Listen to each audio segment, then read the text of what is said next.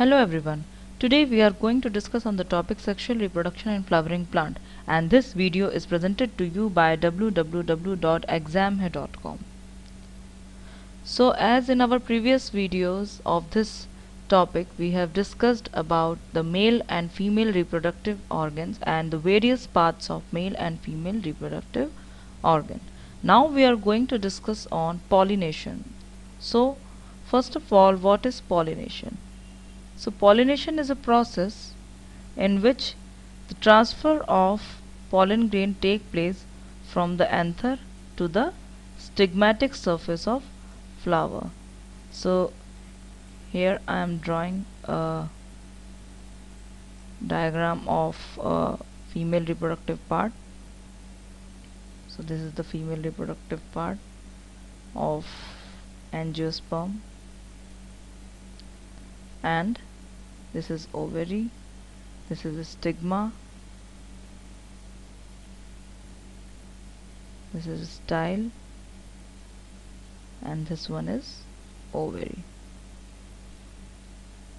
Inside it these are ovules. So this is the male reproductive organ filament and anther. This is anther part and this is filament. So the pollen grain are produced in the anther part and is transferred and deposited to the female reproductive stigmatic part. So this process is called pollination. So the pollination is of two types self-pollination and cross-pollination. In self-pollination the pollination can be autogamy and geitonogamy. So in autogamy, the pollination occur between the same flower. So as you can see in this diagram, the flower is a bisexual having both male and female reproductive organ in the same flower. This is the bisexual flower having both male and female reproductive organ.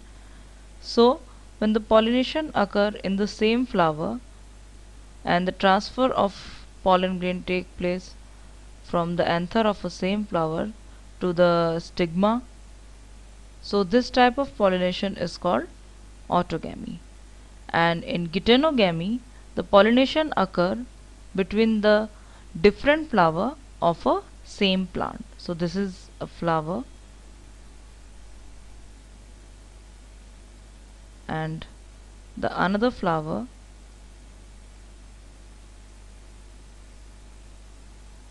but of same plant.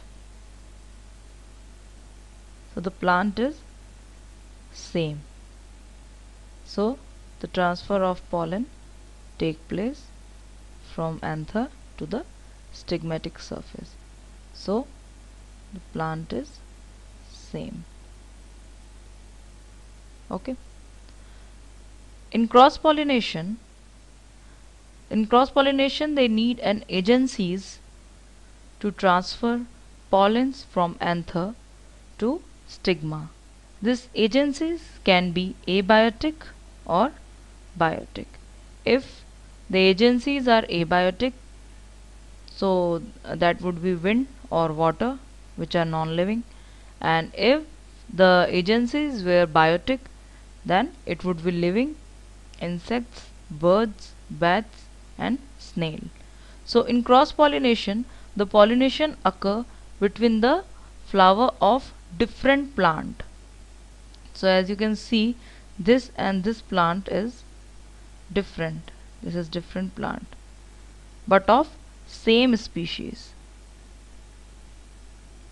Different plant but of same species. Okay? So different plant of same species. So in cross pollination as you can see in this diagram this pollination occurs through insects. And the pollen grain were transferred from one uh, from the flower of one plant to the flower of another plant. Okay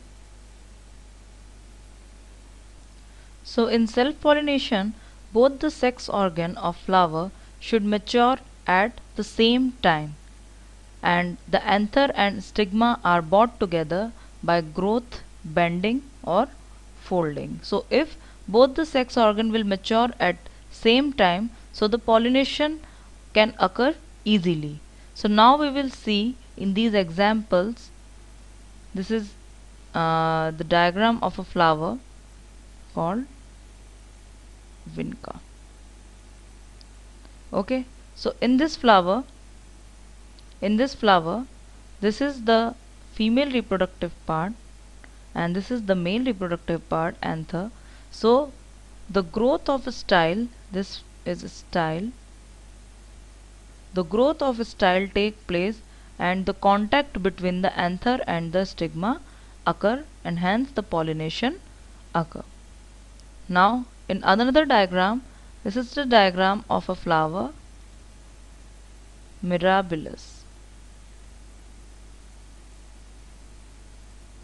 or 4 o'clock. So in this flower, in this flower, this is the male reproductive part and this one is the female reproductive part. So the bending of uh, the male reproductive part takes place and the contact between, between the pollen and stigma occur likewise. Okay, so this is the male reproductive power, uh, plant part and this is the female reproductive part. So uh, in next example this is the example of potato flower potato flower so this part is the male part which is anther and this is the female part. So the bending of style take place uh, to make a contact between the anther and stigma and hence the pollination occur in this way. Okay. Now the another example is of flower sunflower. This is sunflower. So this is the normal position. And this is the position when the pollination occur. So in this this uh, and this hairy part of the female reproductive part contain the anther contain the pollen grain from anther these contain the pollen grain from anther and the female reproductive part folds to catch the anther and hence the pollination occur. Okay? So in this way the there are various uh, ways in which the anther and stigma are brought together and the pollination occur in self-pollination method. Now the importance of self-pollination. Advantages. Maintain the parental character or purity of races. So as there is no involvement of any another plant, so there is a pure race of a same plant maintaining the parental character of a same plant. No need to produce large number of pollen grain as the pollination occur in the same flower uh, in the same plant in the same flower so there is no need to produce a large number of pollen grain. Flower did not need showy petal odor to attract pollinator. So as there is no need of pollinators in this uh, type of uh, pollination. So there is no need to be uh, no need of showy petals odor and other things to attract pollinators like insects and birds. The disadvantage is there is no introduction of new character take place as there is only one plant is present in this uh, whole process so there is no introduction of new character. Reduce the variability and hence adaptability to the change in environment. As there is no introduction of new character, so there is a reduction in the adaptability to the change in environment of plant. Okay. So now we are going to discuss the cross pollination. So in cross pollination, the transfer of pollen grain from anther of one flower to the stigma of another flower of different plant but of same species. Species can't be different. There would be no pollination occur between the rose plant and the sunflower. The sunflower plant can get pollinated with the sunflower and the rose will get pollinated with the rose. It required an external agencies. External agencies like abiotic and biotic. Abiotic agencies are non-living agents like wind and water. So the pollination occur through wind is called anemophily and the pollination occur through water is called hydrophily. Biotic agencies are uh, the agencies in which the pollinations occur through animals and the pollination occur through animal is called zoophily in which if the pollination occur through insects then it is called entomophily and if the pollination occurs through birds then it is called ornithophily. If pollination occurs through bats it's called chiropterophily and if snails then it is called malacophily. So now what are the adaptation of plant for cross pollination? So there are some adaptation of plant as we have seen in self pollination. So there must be some adaptation of plant uh, for the cross pollination also. So as we have seen in uh, self-pollination, the male and female reproductive organ mature at the same time so that the pollination can occur. But in cross-pollination, if the uh, plant is bisexual having both male and female reproductive organ, so there would be release of pollen occur first. So in that case, the receptivity of stigma will not present and if the receptivity of stigma occur so the pollen would not release. So there would be no synchronization between both the uh, reproductive organ. If there would be any synchronization, if both will mature at the same time, then the pollination will occur between them in the same uh, flower, in the same plant.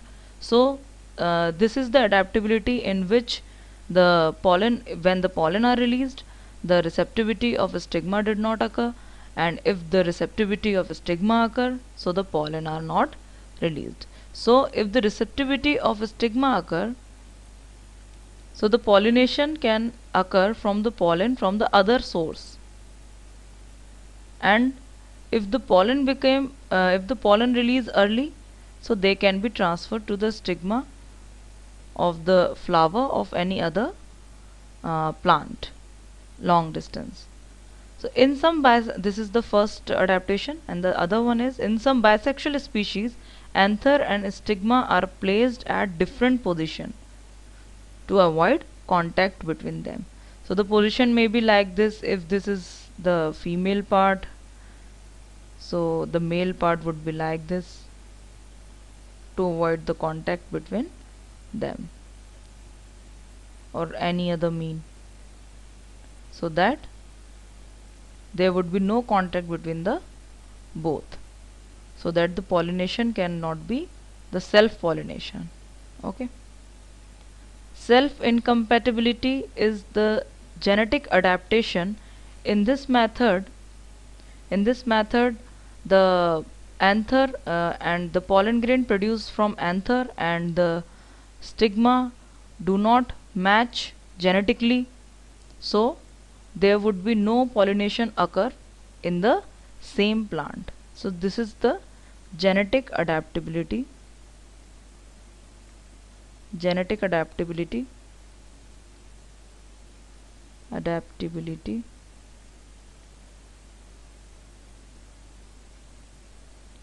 in which the there is the genetic variation between the pollen grain and the stigma receptivity of a stigma of a same plant so that no self-pollination can occur. So in some species like papaya, male and female flower are present on different plant. so in that case the plants are called unisexual plant in which either the male or the female reproductive part is present in one flower. Okay